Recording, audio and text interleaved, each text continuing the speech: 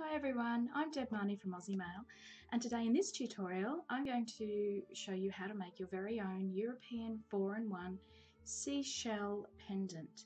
Now European 4-in-1 is a weave that's aimed at beginner mailers so even if you haven't had a lot of experience in chainmail you should be able to do this particular tutorial with no problems at all and before you know it you're going to have an absolutely stunning piece of jewellery that you can wear. Okay guys, so let's jump straight into it. Okay, here's a, sample of uh, the piece when it's finished. As you can see, it's just a nice soft little seashell type shape. Anyway, the materials you will need to finish this project. Um, for the rings, you'll need two colours. Uh, we're using here um, 18 gauge AWG, which is 1.0 diameter wire, uh, with a ring ID of 9 64ths or 3.57 millimeters uh, for both of the colors. You'll need in total 116 rings of the AA and 55 rings of the BA, the bright aluminium, the silver colored rings. You'll also need to complete this one larger ring. So this is 14 gauge AWG, 1.6 millimeter. It has um, an inside ID of 9.5 mils or 3 eighths of an inch if you're working metric.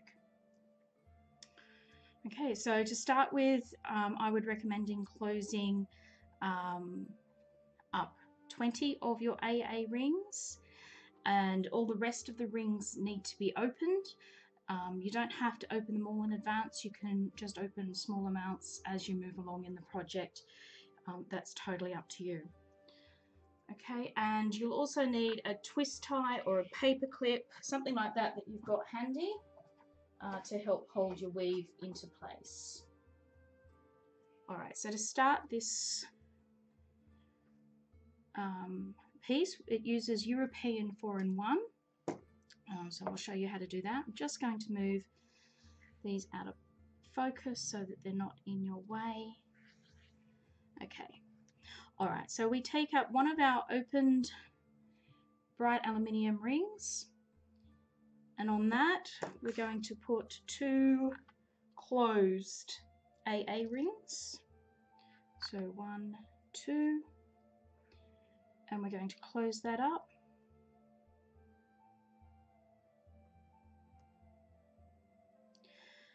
And then we're going to take our twist tie, going to put it through that bright aluminium ring.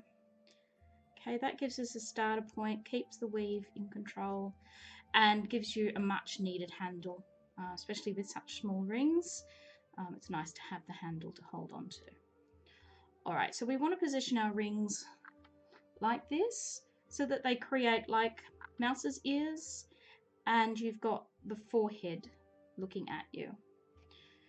Okay, so once you've got your rings positioned like that, take up another opened ring.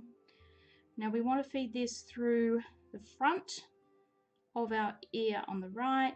We're going to bring it around, twist it up and bring it through the back of the ear on the left. And before we close that, we're going to pop on two of our pre-closed rings and we're going to close that up. Okay, and then we position the rings again so that we've got the ears and the forehead looking at us. And we just repeat that step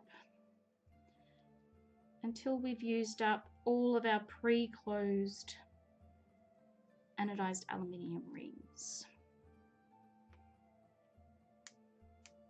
Okay. And open it up, form the ears. I'll show you that again. Okay, so we're taking our open ring, holding our ring so that we've got the ears looking at us, the forehead at the front. We put it down through the front of the ear on the right and up through the back of the ear on the left. And before we close it, we add two more pre-closed jump rings. close our ring up, flip them into position, and continue weaving like that all the way until we use up all of our pre-closed rings which means we've got 10 rows because we've got 20 pre-closed rings, two per row. Okay, so through the front, twisting it up so it comes up through the back. And then before we close, we add two more jump rings. Close it up move those jump rings into position. So, so you've just got your two pre last two pre-closed rings, put them in position like you have been doing, take out one more open ring and feed it through the ears like you have previously, but this time we don't put any closed rings on. We just close that up. Okay, so that's what you've got so far. And now what we're going to do is we're going to work on the right hand side of this weave first and then we'll flip it over and we'll do the other half. Okay, so we've got one row here of AA. We're going to add another row down here. So taking up one of your AA or anodized aluminium jump rings, go up to the first two here and what we want to do is we want to put the jump ring, see if I can get this close enough for you, through this eye that's formed here where the jump rings overlap. You can see that. So taking our, our open AA ring, okay, so up through the back of the second ring and up through the back of the first ring. We don't add any extra rings, we just close that. And we want to keep adding rings down the length of our piece. So this time we come up through the back of the third ring and up through the back of the second ring.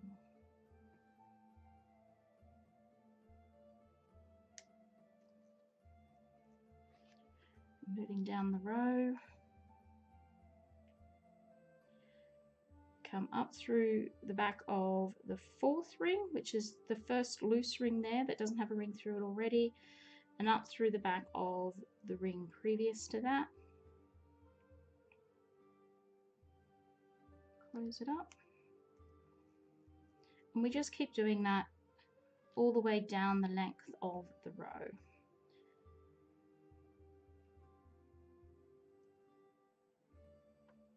So I'll just do that and I'll meet you back here uh, when it's finished. Okay, so when you get to the bottom of the row, we've gone through the last ring, but you can see we're still one ring short here. We want it to look the same as this row over here. So we're going to need to add a, an additional ring just through that last ring there.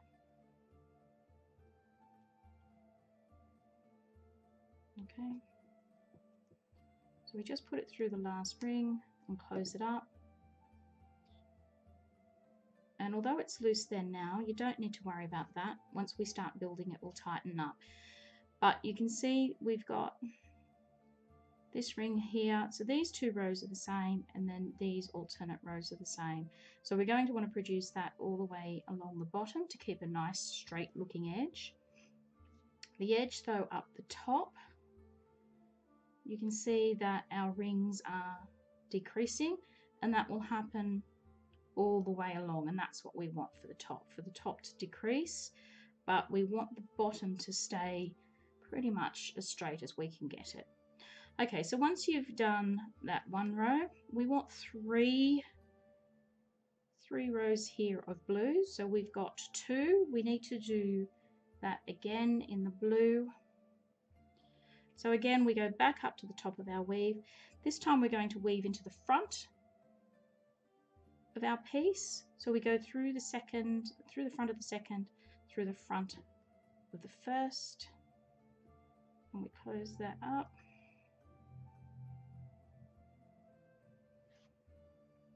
And we just move down the line like we were previously. So th through the front of the first, through the front of the second, you can see that that ring just naturally slips in behind the one before.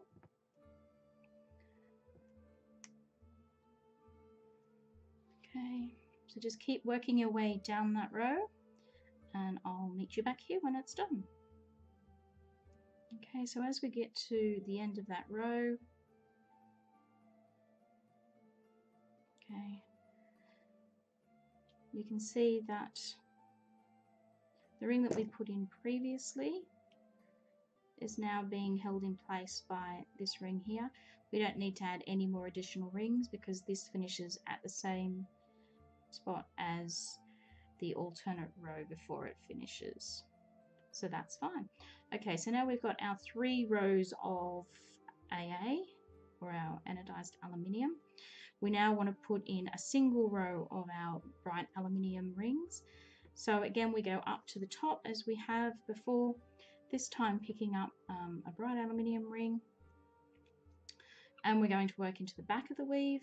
So up through the back of number two and the back of number one. And we close that up. And as before, just work all the way down the side until you reach the end. And I'll uh, meet you there. So again, we've got to the end of this row. We've used up all our pairs, but you can see from the alternate row before it, we're one ring short. So we're just going to pop one ring by itself through the last ring there.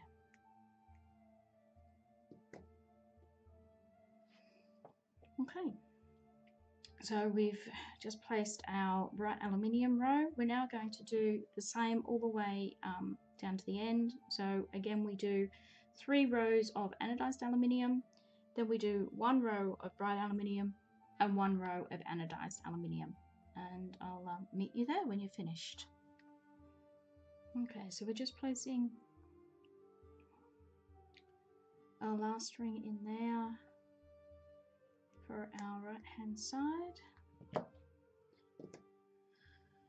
So that's one half of the piece done. So you can see the graduation down the top and the straight line across the bottom. So now what we do is we flip our work over and we do exactly the same on the other side.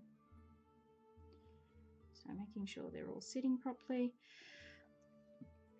We need to do two more rows of anodized aluminium, a row of bright aluminium, three rows of anodized aluminium, a row of bright aluminium, and we finish up with one more row of anodized aluminium.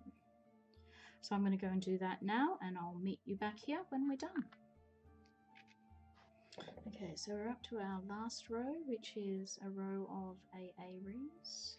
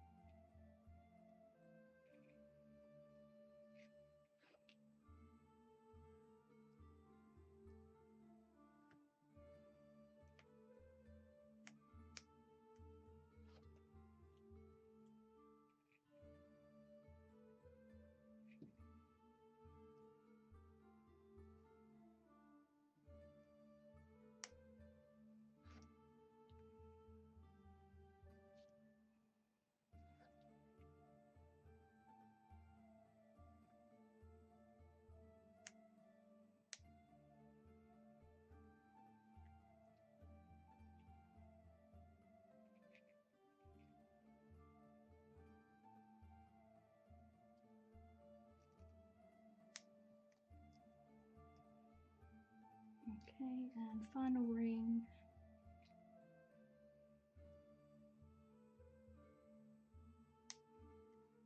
Okay. So your piece now looks like this. We've got a straight edge along here, our graduating edge on the other side.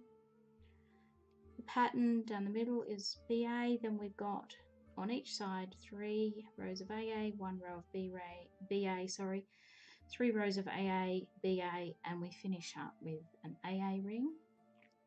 Okay, so our next step now is to add the rings that we're going to attach our large center ring to.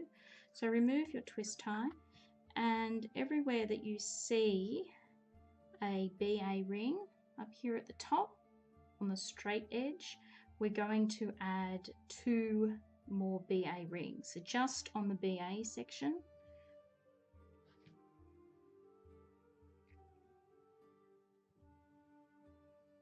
add two BA rings, just going straight through that ring there so that they hang off. You do that to every BA uh, row or column along the top, making sure you pick up that topmost ring. Remembering this is for BA rows only. We miss all the AA rows. Um, that gives us the nice uh, scalloped, rippled look that we're looking for, like a seashell has.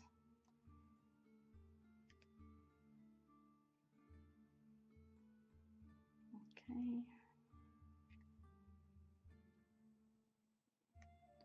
Two of those in every row along the edge,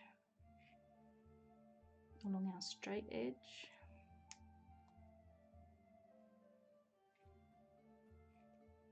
Nearly done. One and two.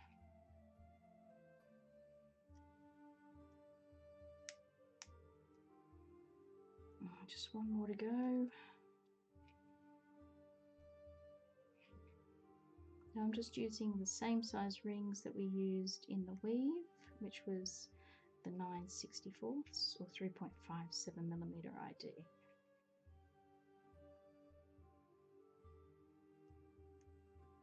Okay, so our work should look like this.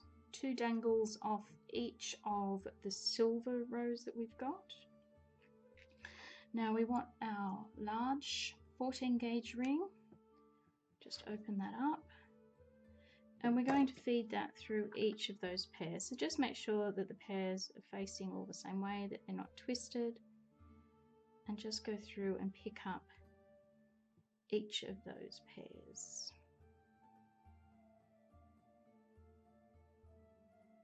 Okay. Once you've got them all, you can see the, the ripple effect, the scalloping that that creates. You can go ahead and close that ring up. And that's it. You've completed the seashell pendant. Now to attach that to a necklace, I just took two more of the same sized rings, fed them through the uh, big ring, and before closing, um, put the chain through them and close them up. Uh, that ring may depend on what size necklace you're using. Um, so you may want to change that if you've got a much thicker one, but it's quite a generous size. It should fit quite a few different chain lengths in there. So there you go. An anodized aluminium, bright aluminium seashell pendant. Hey guys, thanks so much for joining me today and I really do hope that the tutorial uh, was of some benefit for you and you were able to um, enjoy it and make a stunning piece of jewellery.